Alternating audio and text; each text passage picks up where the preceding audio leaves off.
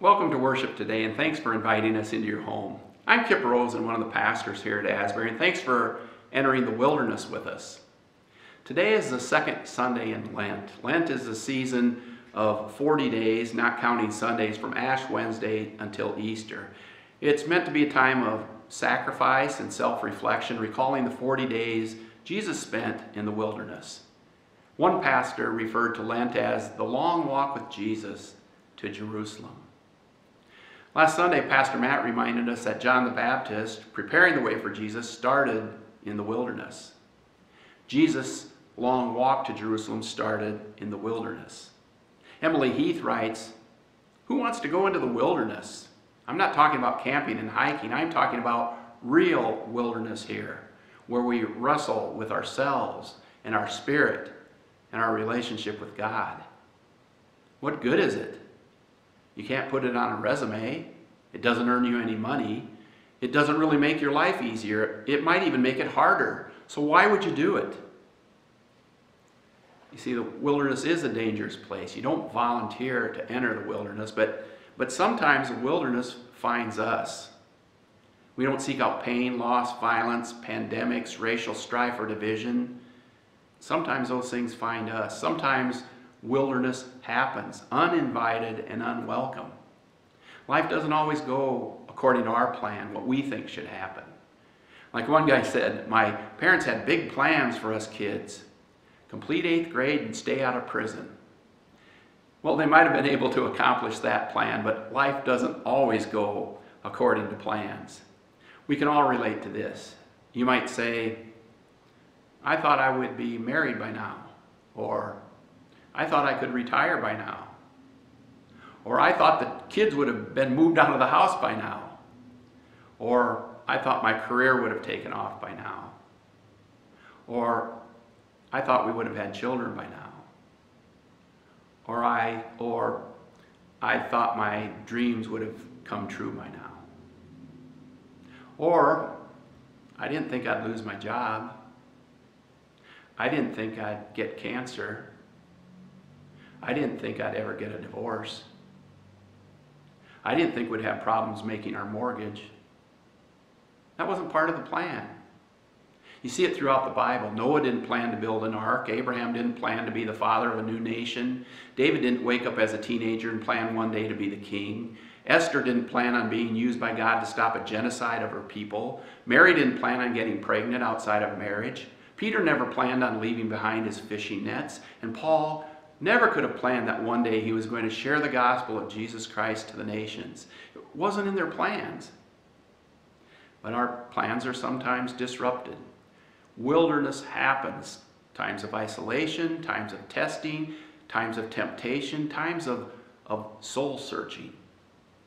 Over the next few weeks, we're going to look at some wilderness episodes from the Bible, and I hope it will serve as reminders that even though the wilderness can approach any time, there is always a guide to lead us back. And even these deserted places can be a haven of the holy. God can redeem even the most difficult and painful times in our lives. Well, today we head into the wilderness with Jesus. Mark's gospel tells the story in, in two simple verses. And the Spirit immediately drove him out into the wilderness. He was in the wilderness 40 days, tempted by Satan, and he was with the wild beasts, and the angels waited on him. That's from chapter 1 of Mark's gospel. Jesus wrestles with what it means to be faithful. He's tempted by Satan, evil personified in the wilderness 40 days. At the end of it, Jesus emerges, but it doesn't really get any easier. The greatest challenges are still to come. Do you, do you remember what happened immediately before this incident of Jesus in the wilderness in the facing temptations? It's the story of Jesus being baptized. He emerges from the water and he's visited by the Holy Spirit, and a, a voice from heaven proclaims, You're my Son, the beloved. With you I'm well pleased. John the Baptist has prepared the way for Jesus. He's baptized him in the Jordan River. You might say this is Jesus' anointing and commissioning for his public ministry. It is a, a, a, moment of profound affirmation for Christ, a moment of spiritual and mental strength. He's not been accosted by the Pharisees, not been questioned by the Sadducees, not been thought to be crazy by his own family or chased out of his hometown synagogue. At this moment, Jesus is nothing but blessed and affirmed in his future, in his identity, in his strength. He is the beloved Son of God. Doesn't that sound like the perfect script for a fantastic life and ministry? Comes out of the baptismal waters, the heavens are torn open, a voice from heaven declares, You are my Son, the beloved. With you I am well pleased. Wouldn't you think that experience would propel Jesus into his mission and ministry? But instead, that same spirit that was present at his baptism drives Jesus into the wilderness. That's how Mark's gospel describes it. Jesus is forced into the wilderness, driven. The same word used when the Bible says Jesus drove out the demons is used here. It's forceful into the wilderness. Matthew and Luke's gospel share more details about what happened. Here's what Matthew says. When Jesus was led up by the Spirit, notice how Matthew's gospel softens the language that's found in Mark. Doesn't say driven, it says led up by the Spirit. Led up by the Spirit in the wilderness to be tempted by the devil. It says he fasted 40 days and 40 nights, and afterwards he was famished. The tempter came and said to him, if you are the Son of God, command these stones to become loaves of bread. But Jesus answered, It is written, One does not live by bread alone, but by every word that comes from the mouth of God. Then the devil took him to the holy city and placed him on the pinnacle of the temple, saying to him, If you are the Son of God, throw yourself down, for it is written, and, and note here that the tempter is quoting Scripture. It is written, He will command His angels concerning you, and on their hands they will bear you up so that you will not dash your foot against a stone. Jesus said to him, Again it is written, Do not put the Lord your God to the test. Again, the devil took him to a very high mountain and showed him all the kingdoms of the world and their splendor. And he said to him, All these I will give you if you will fall down and worship me. Jesus said to him, Away with you, Satan, for it is written, Worship the Lord your God and serve only him. Then the devil left him, and suddenly angels came and waited on him. That's from Matthew chapter 4, the first 11 verses. When are you most vulnerable to temptation? Is it when you're at your weakest? Or is it when you're at your strength, your strongest? Or is it when you're at your strongest weakness? When, when are you most vulnerable? It might be when you're feeling at a low point, when you're feeling weak, but it also could be at those moments of your greatest strength, your greatest triumph, your greatest success, when you're riding high in the saddle and there's applause everywhere around you. At both moments, our highs and our lows, we're vulnerable to temptation. Jesus faces temptation in the wilderness at a high point in his life. And he's tempted in the wilderness at a low point in his life as he's starving, he's famished. Pastor and author Fred Craddock says that what makes temptation so, well, so tempting is that a real temptation is an offer not to fall, but to rise to greater heights. What is offered seems good, attractive. Craddock writes The tempter in Eden didn't ask, Do you wish to be as the devil? But, Do you wish to be as God? And he concludes saying, No self respecting devil would approach a person with offers of personal, domestic, or social ruin. That is in the small print at the bottom of the temptation. Well, in our story, Jesus faces three temptations. They're real temptations for him. First, to turn stones into bread, magically taking care of his own hunger. It says he was famished, and, and potentially using that power to accomplish much good. The second temptation is to throw himself off the pinnacle of the temple, whereby he'll prove to his tempter and to all the people there how special he is, and how special he is to God. The third temptation is to have all the kingdoms of the world given into his hands That is to have enormous political power if, and here's the catch, if he will just sell his soul. One commentator says these three temptations boil down to uh, seeking nourishment apart from God, testing God for the sake of self indulgence, and abandoning God for the sake of acquiring fame, fortune, and power. Another commentator says these temptations are even trickier, more deceptively appealing than that. He says they can be summarized as take care of yourself, prove your faith, and save the world no matter the cost. Well, however you understand them, some form of those temptations plays itself out in each of our lives. But today I really want to focus on and point to what the tempter what the tempter is really testing Jesus for. I don't think that Jesus is being tested for his ability to, to work miracles. I, I don't think Jesus is being tested to see if he'll play to the crowd. The key to understanding the devilish intent of these temptations is found when the tempter says, If you are the Son of God, if you are the Son of God. The one who comes to tempt and test Jesus is, is not testing Jesus' ability to perform miracles. The diabolos is testing Jesus' attitude as the one announced to be the beloved Son of God. He's testing his attitude.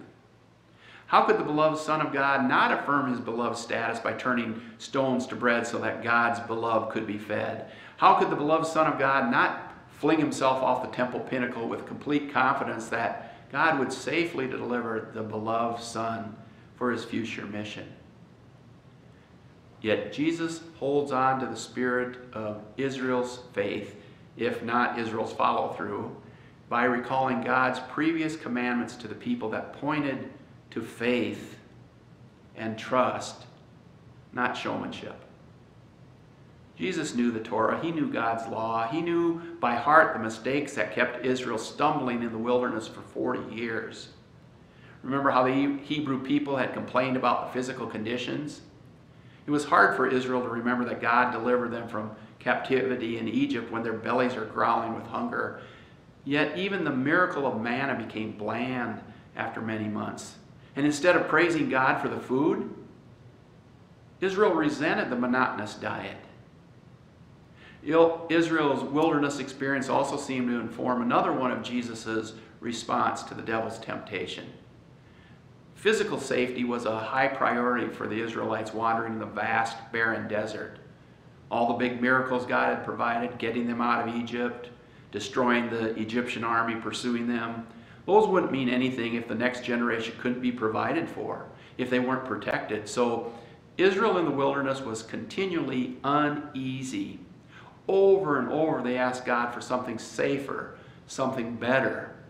At one point, unrest uh, over what seemed like a lack of uh, water led the people to revolt. God, through Moses, miraculously provided the people fresh water from a rock. God always gave Israel what they needed to survive, but Israel didn't always seem to trust that God understood what they needed while they were in the wilderness. Well, Jesus refuses to echo Israel's doubts and despairs. Jesus refused to let the tempter play either on his physical weakness, his hunger and his exhaustion, or his spiritual strength, his affirmation as God's beloved Son. Jesus simply remained confident, obedient, and humble in the face of life's realities and also God's power. Confident, obedient, humble in the face of these temptations, Jesus is claiming his identity as the beloved Son of God, claiming that. And he's also clarifying that. What does that identi identity mean for his mission and ministry as the beloved Son of God? Leonard Sweet, a pastor, professor, and author, shared this illustration of the power of the temptations Jesus faced. Do you remember how Staples, the office supply store, had a series of commercials a few years ago featuring the easy button. In their ad, whenever a person confronted a difficult situation, all they had to do was reach over and push a red, oversized button that read easy. You remember the easy button? That was easy. That was easy. You got to pick up three kids, make dinner, finish the report at work, and be supportive to your spouse. No problem. Just press the easy button. That was easy. Do you need to do a risky surgery you've never done before? Hey, just push the easy button. That was easy.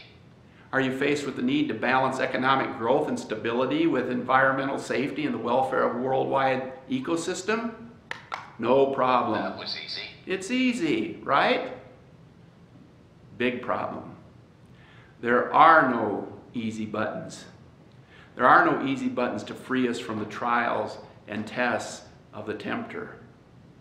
Remember, Jesus taught us to pray not save us from temptation, but lead us not into temptation. Temptations are real. Temptations are all around. And Leonard Sweet concludes saying, Jesus' experience in the wilderness with the tester gives us all a snapshot of our own lives. How many times a month, a week, a day are each of us tested in some trivial or profound way? The cashier hands us back too much change. A coworker is too friendly, too close, too suggestive. Getting ahead means getting around some laws, getting through some loopholes. Jesus' response to the devil was not to push some easy button, but he did push a reject and reset button. When confronted with the final test, Jesus refused even to dialogue with the devil. His response was complete rejection, no negotiation, only negation. Away with you, Satan. But this dismissal was followed by a powerful positive worship the Lord your God and serve only Him. The reject button followed by a reset. Rededicate your life to prayer and praise, faithfulness to God. In the wilderness times and times of our greatest need, we seek our strength from beyond ourselves. Our strength comes from God. A boy and his father were walking along a road when they came across a large stone, and the boy said to his father, Do you think if I use all my strength, I can move this rock? His father answered, Well, if you use all your strength, I'm sure you can do it. The boy began to push the rock, exerting himself as much as he could. He pushed and he pushed, and the rock, the rock did not move. Discouraged, he said to his father, You were wrong. I can't do it. The father placed his arm around the boy's shoulder and said, No, son, you didn't use all your strength. You didn't ask me to help. There is no easy button. Wilderness time is when we need all our strength, and God is our strength. Again, in the words of Jesus, worship the Lord your God and serve only Him. That's a reset button. We rededicate our life to prayer and praise. We put our faith and trust in God, and we accept our identity as a beloved child of God. Let's pray. Oh, gracious God, we thank you for being our strength in times of trial and testing. We thank you for offering your forgiveness, your love, and your grace. Empower us to claim our identity as one of your beloved children, and give us the gift of a faith that is greater than temptations. We pray in the powerful name of Jesus. Amen.